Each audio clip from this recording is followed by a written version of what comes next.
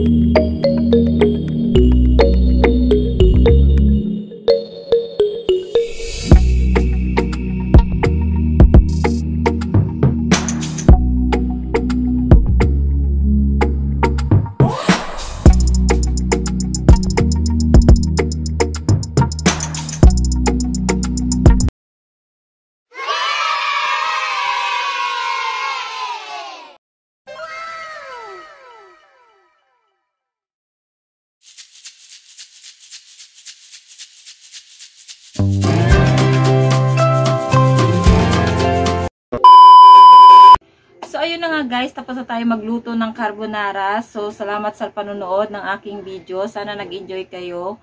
At nakita nyo naman na hindi tinipid ang aking carbonara. So, salamat sa mga nanood. At kung bago ka pa lang sa aking YouTube channel, please subscribe and hit the notification bell para updated kayo palagi sa aking mga video. Bye! Love you all. God bless. Ingat kayo palagi. Mwah!